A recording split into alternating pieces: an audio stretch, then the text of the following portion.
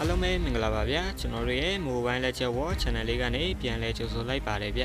ဒီတစ်ခါကျွန်တော်တင်ပေးမယ့်ဇာတ်လမ်းလေးကတော့ Light Empire ကနေ Asset အဖွဲ့တွေကိုရောက်သွားခဲ့ရတဲ့တနာစရာ Tusla ရဲ့နောက်ခံဇာတ်လမ်းလေးပဲဖြစ်ပါတယ်ဗျဗီဒီယိုလေးမစတင်ခင်မှာကျွန်တော်တို့ရဲ့ channel လေးကို subscribe မလုပ်ရသေးရင်လည်းလုပ်ထားပြီးဗီဒီယိုတစ်တင်နိုင်သိရအောင်လို့ဒီနံကခေါင်းလောင်းလေးကိုလည်းနှိပ်ပေးထားခဲ့ဖို့တောင်းဆိုပါတယ်ဗျ comment မှာလည်းကိုနှစ်တက်တဲ့ hero ဇလန်းလေးတွေကိုတောင်းဆိုလို့ရပါတယ်ဗျ။ကဲဒါဆိုရင်ဇလန်းလေးကိုစားလိုက်ကြရအောင်ဗျ။လောင်အော့တောင်ရဲ့အင်အားကြီးမားဆုံးအဖွဲ့တွေကတစ်ခုဖြစ်တဲ့ Light Empire ကိုတော့လူများကလေးစားကြရပါတယ်။ Light Monastery ရဲ့မေးမြန်းစစ်ဆေးမှုတွေကိုလည်းပြန်မေးခွန်းမထုတ်နိုင်လောက်တဲ့အထိကြောက်ရွံ့ယိုသေးကြရပါတယ်။ Monastery of Light ကိုလည်းအထွတ်အမြတ်ထားကြရလို့နားလည်ရခက်ခဲတဲ့အကြောင်းအရာတွေကိုတော့ Light ကိုတကယ်ယုံကြည်တဲ့သူတွေတောင်မှပဲနားမလည်နိုင်ခဲ့ကြပါဘူး။ Light Monastery ရဲ့အနက်ရှိုင်းဆုံးနေရာမှာတော့အနက်နည်းဆုံးလှုပ်ဝက်ချက်နေရာတစ်ခုရှိပါတယ်။အဲ့ဒီနေရာကတော့တတိရှိပါတယ်ဆိုတဲ့သူတွေတောင်မှပဲကြောက်လန့်သွားစေနိုင်တဲ့အချုပ်ထောင်ပဲဖြစ်ပါတယ်။တနေ့မှာတော့မြေအောက်ခန်းထဲမှာရှိတဲ့အချုပ်ခန်းတစ်ခုမှာချင်းသားတယောက်ကိုစစ်ဆေးဖို့အတွက်စောင့်တယောက်ဟာတန်ဂိတ်တကားကိုဖွင့်လိုက်တဲ့ချိန်မှာတော့အထဲမှာအခန်းလွတ်တစ်ခုကိုပဲရုတ်တရက်တွေးလိုက်ရပါတယ်။ ၆ကပ်နေတဲ့အခန်းလေးထဲမှာတော့နေရာပေါ်မှာရှိတဲ့သွေးစွန်းနေတဲ့စာတွေကလွယ်ပြီးတခြားဘာမှမရှိခဲ့ပါဘူး။အဲ့ဒီစာသားတွေကတော့ယုံကြည်မှုကိုသာဆွန့်လွတ်လိုက်ပါလင်းဟာကြောက်ရွံ့မှုနဲ့သူပျောက်ကွယ်သွားပါလိမ့်မယ်။အဲ့ဒီချုပ်ခန်းကိုတွားဖွင့်ခဲ့တဲ့အဆောင်ကတော့ဘယ်သူမှမရှိတော့တဲ့မြေအောက်ခန်းထဲမှာပဲတုံတုံရီရီနဲ့ရက်နေခဲ့ပါတယ်။မကြခင်မှာပဲအချုပ်ခန်းထဲကကြောက်စရာကောင်းဆုံးထောင်သားတယောက်လွတ်မြောက်သွားတယ်ဆိုတဲ့သတင်းဟာ Monastery of Light တစ်ခုလုံးပြန့်နှံ့သွားခဲ့ပါတယ်။ မိစ္ဆာဒိဋ္ဌိ Tesla လွတ်မြောက်သွားပြီဖြစ်ပါတယ်။တစ်ချိန်တုန်းကတော့ Smith ဗပဲပညာရှင်တွေဟာလွတ်လပ်ခြင်းကိုကင်ဆွဲထားပြီးလှုပ်လှုပ်တဲ့နေရာမှာလည်းရှေးဘိုးပင်စင်ဆက်လက်မှုပညာကိုထိန်းသိမ်းခဲ့ကြပါတယ်။ပြီးတော့ Monastery of Light ရဲ့စီမင်းစည်းကမ်းတွေကိုဘယ်တော့မှလက်ကင်မထားနဲ့ဒါတွေဟာ Tesla ကြွေးကြော်နေကြစကားတွေပဲဖြစ်ပါတယ်။ Free Smith လွတ်လပ်တဲ့ဗပဲပညာရှင်တွေနဲ့လူမီနာမျိုးကဖះเจ้าစန့်ကြေရေးခေါင်းဆောင်အနေနဲ့ Tesla ဟာ Monastery of Light ရဲ့အမိန့်တွေကိုထက်ခါထက်ခါလစ်လျူရှုခဲ့ပါတယ်။ဖះเจ้าကပြစ်ပေးထားတဲ့လောက်ငယ်တာစမစ်တွေကိုလည်းအားပေးအားမြောက်ပြုခဲ့ပါတယ်။သူစလာရဲ့စီကံမလိုက်နာမှုတွေနဲ့သူ့ရဲ့လောက်ရက်တွေကြောင့်ဖះเจ้าကမချေနှက်ကြတဲ့အပြင်သူ့ကိုလည်းလူမီနာမျိုးရဲ့မိစ္ဆာဒိဋ္ဌိလို့လည်းတတ်မှတ်ခဲ့ကြပါတယ်။သူစလာရဲ့အကြောင်းတော်ပေါ်ဂယူးမဆိုင်တာအပြင်သူဟာတခြားသူတွေရှင်ပြိုင်လို့မရတဲ့လက်မှုတပ်ပညာတွေကြောင့်လည်းနာမည်ကြီးကြော်ကြားလာတာဖြစ်ပါတယ်။ သူဟာများပြားလွန်းတဲ့ကျွမ်းကျင်မှုတွေရှိတဲ့အပြင်စီကံတင်ချက်ပြီးတိကျပြတ်သားမှုရှိတာကြောင့်လက်အောက်ငယ်သားတွေရဲ့လေးစားတာကိုခံခဲ့ရပါတယ်။တပည့်ဘူးမှာတော့အမားတသေးလေးလုံးမိရင်တော့မှသူ့ရဲ့စိတ်ဆက်တိကျတဲ့မျက်လုံးတွေအောက်ကနေမလွတ်မြောက်နိုင်ပါဘူး။မတိမတက်နဲ့လှုပ်ထားတဲ့လက်ရာတွေနဲ့သူ့ကိုလိန်ညာဖို့ကြိုးစားတဲ့ဘယ်တပည့်ကုန်ဆိုသူဟာပြင်းပြင်းထန်ထန်ပဲပြစ်ပေးလေးရှိပါတယ်။ အဲ့ဒါကိုစိတ်ပြက်လာတဲ့တပည့်သားတွေဟာသူတို့ဘာသာသူတို့အချင်းချင်းပြောကြပေမဲ့လည်းသူတို့ရဲ့မကျင်တဲ့ချက်တွေကိုတော့တက်စလာကိုတော့ဘယ်တော့အခါမှထုတ်ပြောလေမရှိပါဘူးအဲ့လိုစီကံတင်ချက်မှုနဲ့တိတိကျကျလောက်တတ်တာကြောင့်တက်စလာတို့ဗပဲဖို့ကလက်မှုပညာတွေဟာအကောင်းဆုံးလက်ရတွေပဲထွက်လေရှိပါတယ်သူတို့ရဲ့အရေးသွေးကောင်းတဲ့လက်ရတွေကြောင့်မလို့ Free Smith အဖွဲ့ကပစ္စည်းတွေကို Monier Empire တစ်လျှောက်မှာနှစ်တက်မြတ်လို့ကြပြီးဈေးမှတင်ရောင်းတဲ့ခါတိုင်းမှာလည်းအမြန်ကုန်သွားလေးရှိပါတယ် အဲ့လိုအောင်မြင်နေတဲ့ Tesla တို့ဗပဲဖို့ကိုမနာလိုတဲ့ပြိုင်ဘက်အဖွဲ့တွေဟာ Monastery of Light ကိုစာတစောင်းပို့စေခဲ့ပါတယ်။အဲ့ဒါကတော့မိစ္ဆာဒိဋ္ဌိ Tesla ဟာတားမြစ်ထားတဲ့ Black Magic တွေကိုအသုံးပြုပြီးဗပဲလုံနေတာမလို့လက်ရတွေဟာပြောင်ပြောင်းနေတာလို့ရေးပြီးတိတ်တဆိတ်ပို့စေခဲ့ပါတယ်။အစကတည်းက Tesla ရဲ့လောက်ရက်တွေကိုသဘောမကျတဲ့ Monastery of Light ဟာစာထဲမှာရေးထားတာတွေကိုအမှန်လို့ပဲသတ်မှတ်လိုက်ပါတယ်။ Tesla ရဲ့ဒါးလေး6နှစ်ပြည့်မွေးနေ့မတိုင်ခင်မှာတော့ Tesla ဟာသူ့သားကိုမွေးနေ့လက်ဆောင်ပေးဖို့အတွက်မြို့ပြင်ကပပဲဖို့မှာပဲအချိန်ကုန်ဆုံးလေးရှိပါတယ်။သူစူးစမ်းလုပ်နေတဲ့လက်ဆောင်လေးတွေကတော့တေးစိတ်ထွန်းလာတဲ့သူတို့မိသားစုရဲ့ရုပ်ထုလေးပဲဖြစ်ပါတယ်။ Tesla ဟာပပဲပညာမှာတစ်ဖက်ကန်းခတ်အောင်ကျွမ်းကျင်တာမလို့သူ့သားရဲ့မွေးနေ့မှာပဲအပြီးတိုင်းလုံနိုင်ခဲ့ပါတယ်။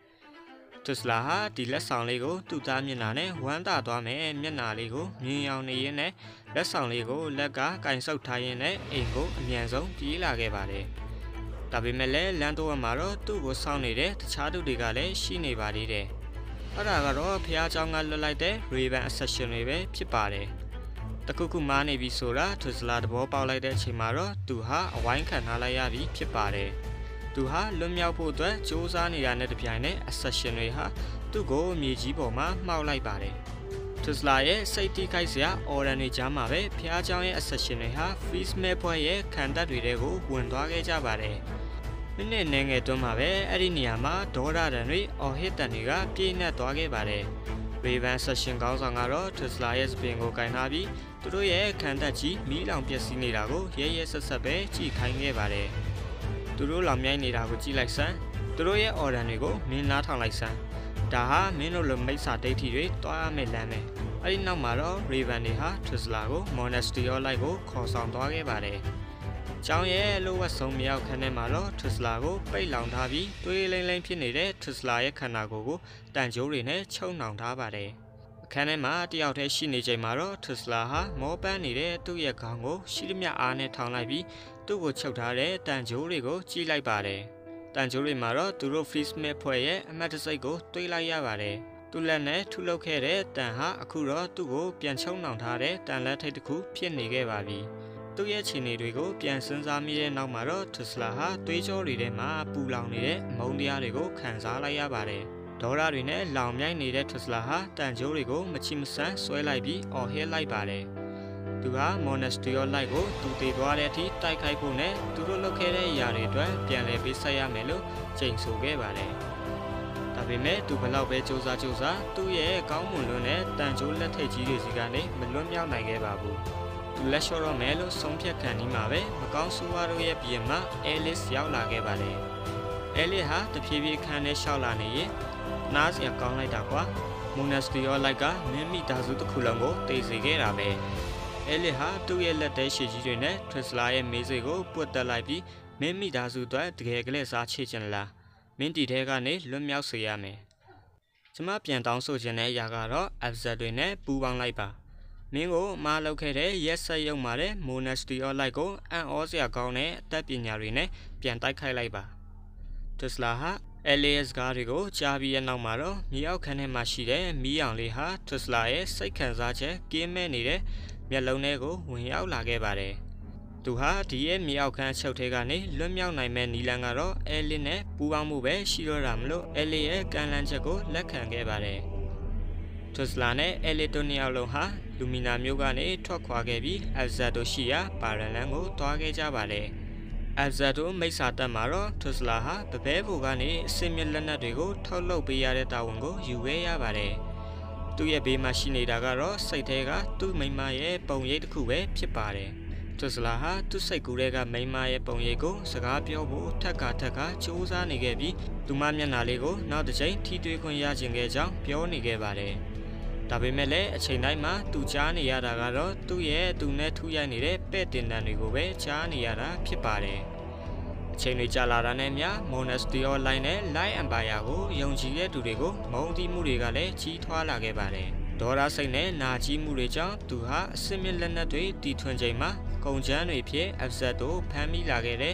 Light ကိုယုံကြည်သူတွေကိုသူ့ရဲ့မီးရကြိုစက်တွေကိုပြစ်ထည့်လေးရှိပါတယ်။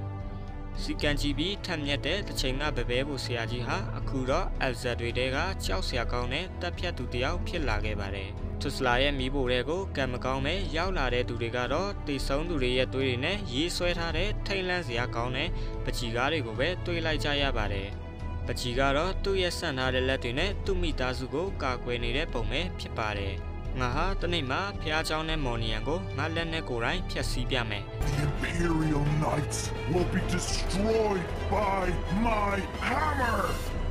ကျွန်တော်တို့ရဲ့ပပဲဖို့ဆရာကြီးထစလာရဲ့ဇလန်လေးကတော့ဒီလောက်ပါပဲဗျခုတော့ထစလာရဲ့ဒိုင်ယန်လော့လေးတွေနားထောင်ရင်းနဲ့ပဲဆုံးသက်လိုက်ကြရအောင်ဗျ နောက်ထပ်လည်း mobile legend hero ဇလန်ကောင်းလေးတွေတင်ဆက်ပေးသွားမှာဖြစ်လို့ကျွန်တော်တို့ရဲ့ channel လေးကို subscribe မလုပ်ရသေးရင်လုပ်ထားပြီးဇလန်တစ်တင်နိုင်တီးအောင်လို့ဒီနာကခေါင်းလောင်းလေးကိုလည်းနှိပ်ပေးထားခဲ့ဖို့တောင်းဆိုပါတယ်ဗျနောက်ထပ်ဇလန်လေးတွေမှာပြန်ဆောင်ကြရအောင်ဗျာ